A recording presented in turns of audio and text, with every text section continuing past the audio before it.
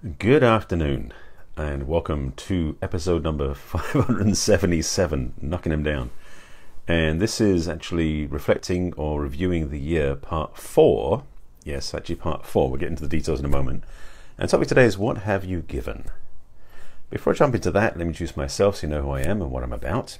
My name is Barry Selby. I am a best selling author, speaker, and relationship attraction expert and help strong, successful, high achieving women create and find balance in love, life, and business. I'm also a passionate champion for the divine feminine. And over the last couple of years, I've done a lot of these, and particularly for the last probably 550, every day I've done these talks called Messages from the Masculine to Inspire Your Feminine Heart. Some of these topics are for women only, some are for both, and this is one of those. so, let's jump in, shall we? So, again, this is episode number 577. And the topic today is reflecting on the year, part four What have you given? And to quickly give you cliff notes from what happened before, um, three parts ago, part one was four. This is the fourth. So Sunday, Saturday, Thursday, Thursday, I did the first part without knowing it was the first part, um, which was what have what are you releasing Second part was um, on Friday, which was um, what are you grateful for? Yesterday was part three, and I'm going to tell you. I'm, you have to go watch them. I want to give you with the cliff notes of what they are. Um, part yesterday was part three, which is what have you accomplished or allowed, and today's part four. Yay, part four. Um, there may be. I'm thinking it's going to be part five tomorrow, since it's the last day of the year tomorrow, to wrap up, wrapping up the year. And so today's topic is what have you given? And I've got a feeling tomorrow might be about receiving, but that'll be a sneak peek. So, what have you given this year? And I'm going to put this into context because I'll share some of my own experiences and examples first. And I'd love to have you reflect on your own for your own benefit, your own upliftment, and maybe even your own. That's what I'm looking for. Self appreciation. There's a good word appreciation. So, in a couple of ways I know I can definitely speak up to what I've given, which is one is giving in service. Now, I'm sure many of you are people who have given of service in some ways too, whether it was feeding the homeless, or working with um, animal shelters, or just giving money to somebody in the street, or as I do, give to your church, or, or give time to your spiritual center, spiritual center in my case. And most Sundays, because I've actually had other events to be at this year, but at most Sundays this year, I've been pretty much spending my mornings in service to my community at Agape, my spiritual center, which frankly I think I'm doing selfishly. because my opportunity to serve and give and provide um, upliftment to people and help them be happier and joyful and uplifting is a pleasure. And I get my jollies from that, so to speak. I mean, it's crude way of saying it, but that's what I do.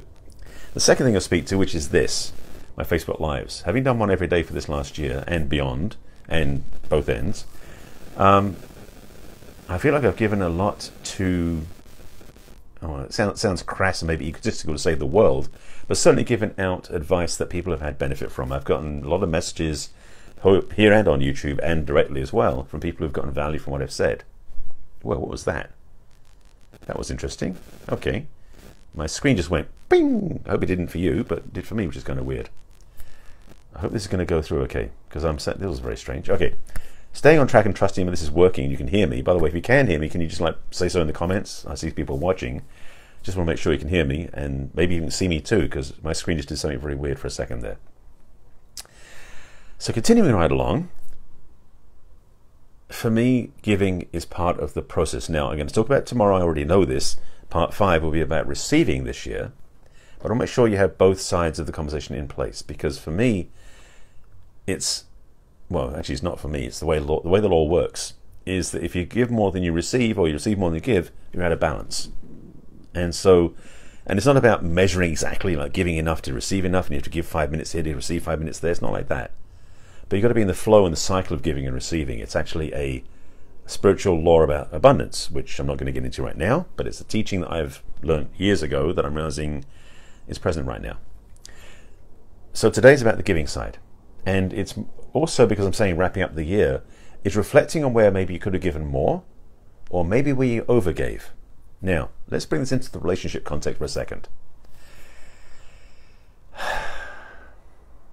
if you're in a relationship that's ended, sorry, if you were in a relationship that's ended, have you in fact found a place where, um, let me say this. Where you felt yourself drained by giving too much? I'm just I'm editing what I want to say because it's not coming out cleanly as I'm trying to put it out there. So trust me as I'm processing what's coming through. This is the way my. By the way, if you haven't seen my Facebook lives before, this happens a lot. When I'll be downloading something and I haven't got a way of articulating it out to you in a way that, to me, makes sense. Then again, maybe I shouldn't even edit it. Maybe I should let it come through. But anyway, so back to this giving piece. If you've been in past relationships, and this may include, well, this will include friendships, family dynamics, business and relationships too, where maybe you felt the relationship was was lopsided where you were giving more than you were receiving. And relationship too, especially especially romantic relationship, that's the investment energy of love and, to be honest, a certain desire, a certain sense of wanting from somebody else. So let me throw another. okay, let me throw another piece in the puzzle, which is, did you give to give, or did you give to get? And for some of you, that's like, oh God, ooh, didn't think about that one. So the teaching here, the lesson here, the, the, insight here is, you know what I'm going to do? Hang on a second. I've got a feeling my phone's doing something, so I'm going to plug it in, give you some, give some juice. That might hopefully. There we go. All right. Okay. I think we're good. All right. Continuing right along. And by the way, again, if you could put in the comments that you can hear me okay and see me okay, I'd appreciate that because I, I have no. The camera's not giving me feedback right now because something happened. I think it was reacting to me. So if you can do that, I'd appreciate it. And by the way, this is Facebook Live first. It's going to be on YouTube later on. So if you're watching it on YouTube, it was on Facebook Live first. And I'll tell you about those links at the end of the broadcast. So back to that point, because it's a doozy of a point.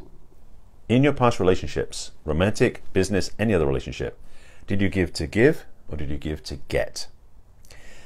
I would suggest that if you did the latter, you may have found yourself being um, out of line. You can see and hear me perfectly. Thank you, Susan. I appreciate that. And nice to see you in my broadcast, by the way. Um, perfectly. That's nice. but see, the thing about it is, in relationships, it's very tempting to think that you can get what you want by giving with an agenda. And I'll say it this way. Um, oh, do I want to do that? Yeah, I think I do.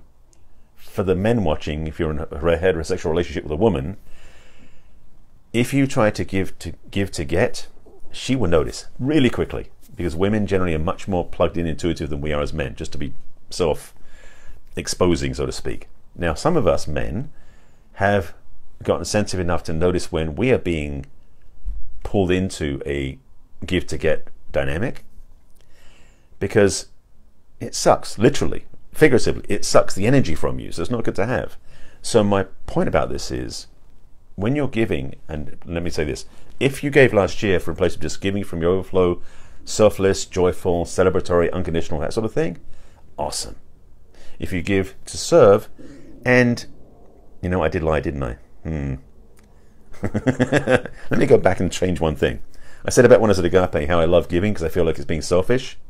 That's not giving to get. That's giving, and the overflow is reward. So if you're giving that way, that's okay. And I'm not cheating there, I'm telling the truth that when you give so much that you feel joyful and uplifted, that's the benefit of giving selflessly. When you give to get, usually there's an agenda, there's a hook, and it also never matches up to what you really want anyway. Here's a little key, by the way. If you're in a relationship with somebody and you give so you can get something from them, but you don't ask what you don't ask what you want specifically, the odds are likely you won't get what you want anyway. See, here's the thing: if you want something from somebody, and I'll talk about this tomorrow in more detail about the receiving side, there's one thing I would recommend ask. it sounds so simplistic, but so many people I know in relationship, especially, actually in every relationship, romantic friends, all these things, we don't always go to somebody and say, I need something from you. Can you help me? I'd love this, please. We normally go, I'll give you this stuff and, and maybe you'll give something in return. Romantically, we have this bad habit of thinking that we're mind, that our partners are mind readers. It's a really, uh, what's the word looking for? It's an error in approach. I'll be polite, because we are not mind readers unless you unless you're dating or married to a telepath, which most of us are not. It's going to be very hard for your partner to know what you want without you telling them.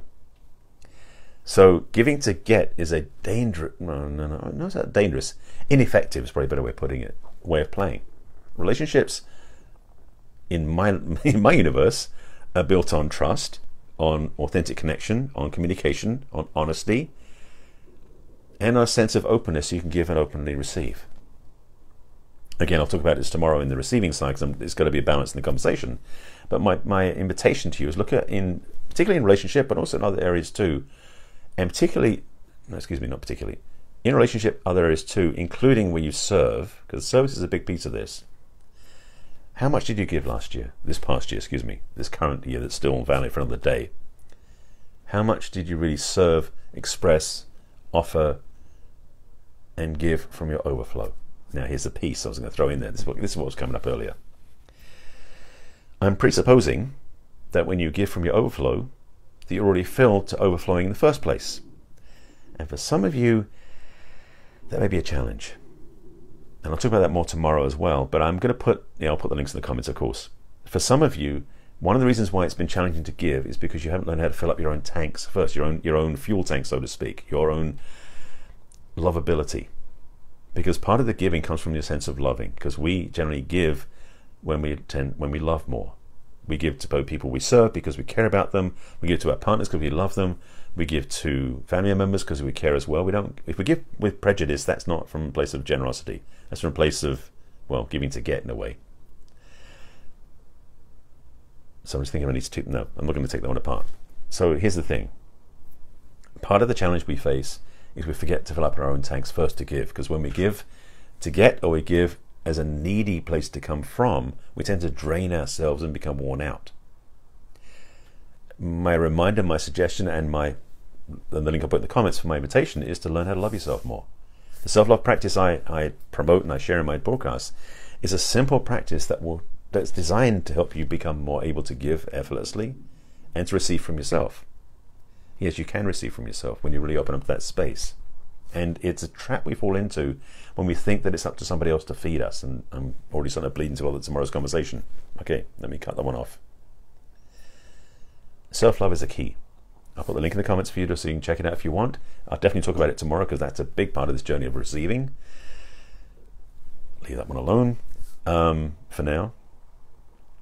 So I invite you to look at your past journey this year of 2018 and consider for yourself how much you gave from your overflow. And if you gave from lack, how are you going to do that differently going forward into next year? So there's a contrast here. If you did get from your overflow, wonderful. I'd love you if you have some thoughts you want to share in the comments what those were. And if you did, in fact, let me put it this way, because it's always homework when I do these broadcasts. If you haven't already thought about it, I'd like you to look back at this year, as I did in the last three broadcasts, to say to yourself, or look at your life and go, so how did I give this past year?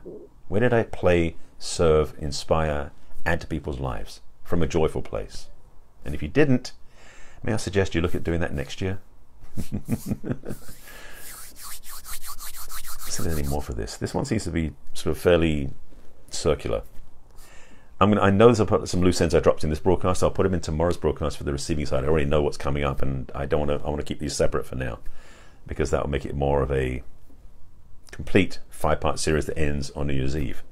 How perfect! Um, if you want to find out more about my work, I'll put a link in the comments as well for a discovery session with me so you can find out how I work.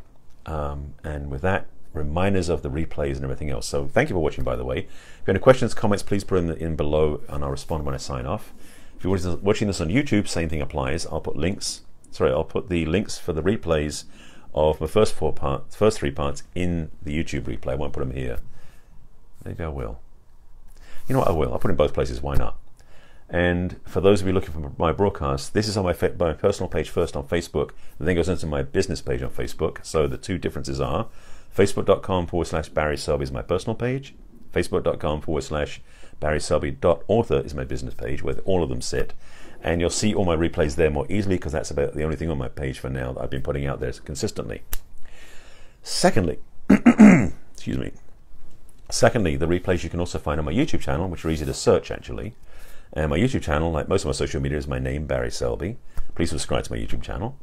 And in there is a, a playlist called Messages from the Masculine. We can find all these broadcasts listed from newest to oldest. And you can search through them, look at titles that are juicy, some of them are, and uh, pick up some keys and tips. And thirdly, I do actually have a podcast which I'm slowly rolling out. That's basically the audio versions of these loaded up to my podcast, which is also called Messages from the Masculine. That's on iTunes. You can subscribe to that. And that's really for more convenience when you want to listen to a podcast format, because then you can load them in. I've noticed that when you're watching YouTube or on Facebook, if you turn off your phone, it goes away. Um, with podcasts, you let them run. So that was kind of the idea of putting the audio versions up there so you can listen to them when you're jogging, driving, running around, whatever you're doing. See, I'm here to please and help you out. So tomorrow's part five will be about receiving, I'm pretty sure. And, uh, and that'll be that. I appreciate you watching as always. Again, any questions, comments, please put them below and I'll respond when I sign off. And I thank you for watching. I'll see you again tomorrow, 5 p.m. Pacific time. I think. It's New Year's Eve. I've got to figure my party schedule. I think it'll be 5 p.m. Pacific time tomorrow. And I invite you to join me then. Thanks for watching. Please share this. Out. By the way, please share this out with anybody you think should watch this. And I'll see you again tomorrow. Bye.